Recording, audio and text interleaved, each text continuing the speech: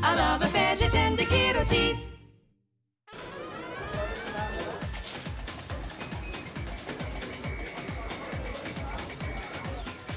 To see how cheese is used in Brazilian cuisine, I've travelled back to Sao Paulo to visit the Mocoto restaurant, which offers traditional contemporary food from the northeast of Brazil.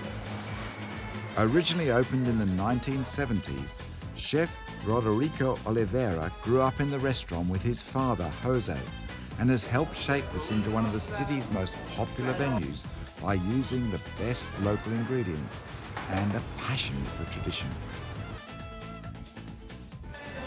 There's just one traditional cheese dating back to Portuguese times that is found all over Brazil. Its name is Coalho, and originally it comes from the northeast of the country. It's still made there by clandestine cheesemakers from raw milk. It's also made all over the country from pasteurised milk. And this is how you usually find it served on the beaches. On most Brazilian beaches, Coalho has become a popular snack food. At Mocoto, they make two varieties. One is the cheese itself, conventionally cut into cubes, placed on skewers and carefully trimmed before being grilled and then served with a sweet molasses dipping sauce. The other popular Mocoto snack is a mix of cheese and granulated tapioca, which begins with tapioca flour mixed with ground pepper and salt.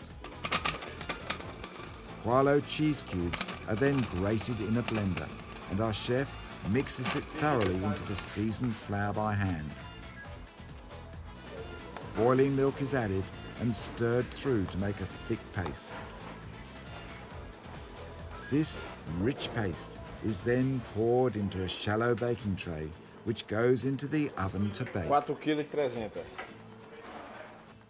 Once cooked, the tray is removed from the oven and allowed to cool.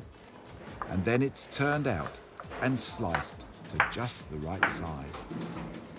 The cubes of tapioca and cheese are deep fried until golden brown and served with a sweetened chili dipping sauce and are utterly delectable.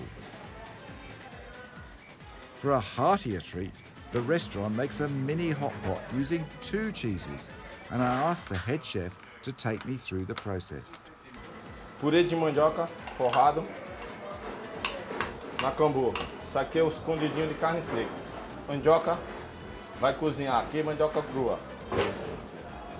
Carne seca junto com purê.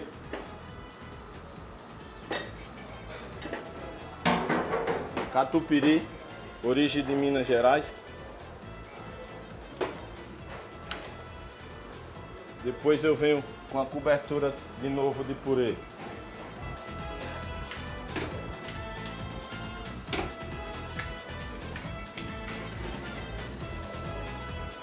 Que eu vou usar o queijo de coalho.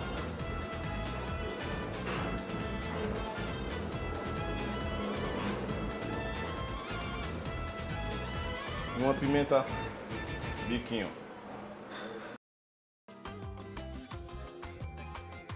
Makoto was one of the first restaurants to take advantage of Brazil's artisanal cheeses, and it's become a pioneer of a widespread interest in heritage foods and Brazilian benchmark produce.